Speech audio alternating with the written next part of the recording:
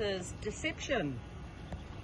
He ran a nice fifth yesterday in the novice 1100. He trailed fifth and worked forward on the rail in the straight. It was a strong run and he tried hard, but I do think he prefers the turf.